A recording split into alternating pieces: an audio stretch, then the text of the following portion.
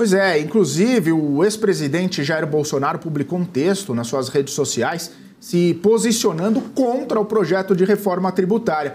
Bolsonaro cita o Foro de São Paulo, diz que Lula tem orgulho de ser comunista, inclusive citando que, caso fosse deputado, eh, votaria contra tudo que viesse do Partido dos Trabalhadores.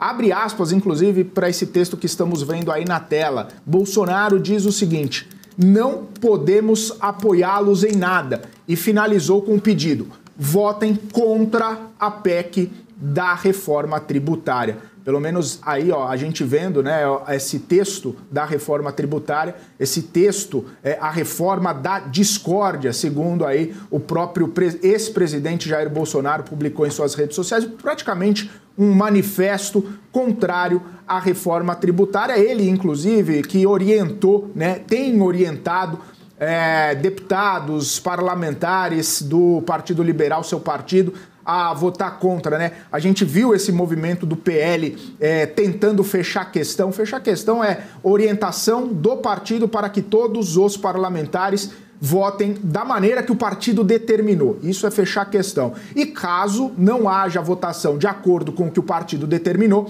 esses parlamentares podem inclusive ser punidos pelo partido. E aí existem vários graus de punição, mas quando o partido fecha a questão, não tem discussão, todos os parlamentares devem votar de acordo com a determinação do partido.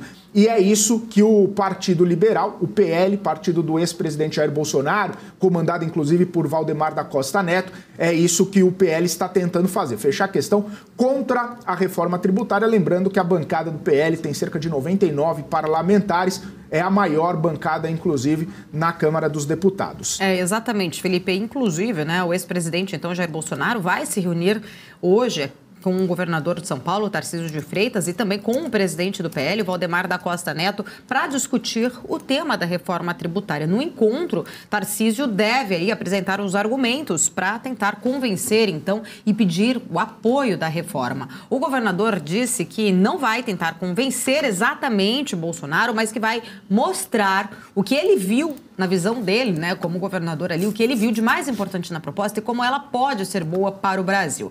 O PL não bateu ainda exatamente aí o martelo sobre a questão de fechar contra a reforma. A gente viu ali, foi uma carta, um manifesto, né, um pedido do ex-presidente Jair Bolsonaro e trazendo ali exatamente pontos, né, contrapontos em relação à proposta. O que o governador Tarcísio agora quer é apresentar ali os pontos que ele viu na visão dele como fundamentais e importantes para a reforma para o Brasil e não para o atual governo. No entanto, é ainda bem provável que toda a bancada né, do partido aí possa votar contra a reforma. O PL, como o próprio Felipe falou agora há pouco, né, Felipe? É o maior aí, a maior bancada, 99 deputados. O que chamou muito atenção, né, inclusive contrariando muitos dos eleitores de Jair Bolsonaro, foi a posição de Tarcísio de Freitas. Muitos acabaram criticando muito o governador por ele ter ali aceitado. A princípio, o governador estava é, reticente em alguns pontos, a favor da proposta desde o início, mas querendo ter ali um pouco mais de autonomia, de voto, de entender exatamente. Chegou até a sugerir, a princípio, uma Câmara Deliberativa. É, e aí, ontem, né, a gente viu ele ao lado de Haddad, depois dessa conversa pacificado praticamente. Alguns pontos ele falou que ele vai, é, não se pode ganhar tudo, né? Alguns ajustes na visão dele ainda precisariam ser feitos, mas ele entende que é fundamental. Agora a missão dele é tentar aí angariar alguns votos, pelo menos do PL, para aprovação da proposta.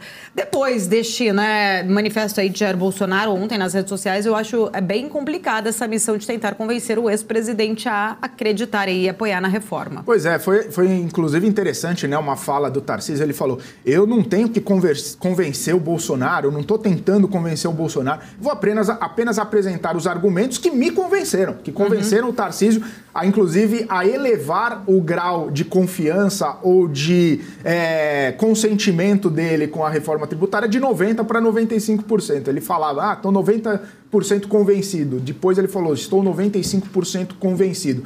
Fato é que o Tarcísio de Freitas, ele foi eleito aqui no estado de São Paulo para governar para todos os é, cidadãos aqui de São Paulo, do estado de São Paulo. E tem muita gente que é favorável a essa reforma tributária. E claro, né, o, o Tarcísio foi convencido porque existe um prazo de transição, inclusive um prazo bastante extenso de transição, e ele foi apresentado aos alguns cálculos por meio dos próprio secretário é, da reforma tributária, o próprio ministro da Fazenda, o próprio relator da reforma tributária, esses cálculos que mostram que, é, do jeito que está, ao longo do tempo vai ficar muito ruim, né? Justamente porque o Brasil perde em competitividade, perde em produtividade, perde muito tempo, né? Tentando compreender, né? Todos uh, uh, os detalhes tributários uh, de toda de todo o sistema que é imposto aqui no país. Então, num primeiro momento, pode até ser que haja alguma perda para o estado de São Paulo,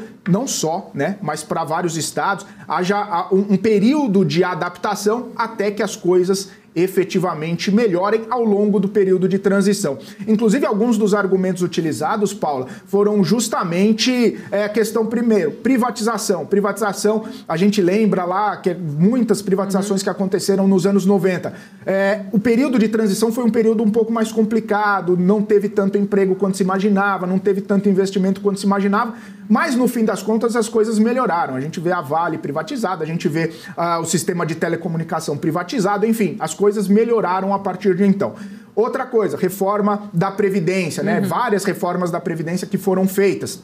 Essas reformas, num primeiro momento, não trouxeram o, o resultado esperado as coisas pioraram um pouco para depois começarem a melhorar no período de transição. Então, esses argumentos acabaram sendo utilizados com o Tarcísio de Freitas para convencê-lo de que, sim, pode haver uma perda de arrecadação num primeiro momento, pode haver uma piora no cenário, até mesmo para São Paulo e para outros estados num primeiro momento, porém, o ganho no longo prazo é muito maior. Além disso, o ganho de fazer uma reforma agora é muito maior do que qualquer perda de não fazer uma reforma tributária. Pelo menos esses são os argumentos que estão sendo colocados, né? É, tanto para Tarcísio de Freitas quanto para outras pessoas, outros governadores que têm se mostrado contrários. E só uma última coisa, Paula, antes de eu devolver aqui para você, é que o ex-presidente Jair Bolsonaro, ele tem, obviamente, o direito de se posicionar contra a reforma tributária, mas a gente lembra que essa proposta já vem sendo